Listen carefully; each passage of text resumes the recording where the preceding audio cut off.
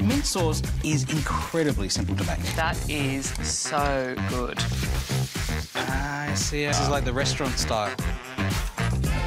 Really, really nice.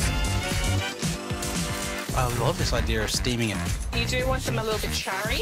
This is my signature dish. I could eat this all day. The Cook Up with Adam Liaw. Wednesdays on the Asian Food Network.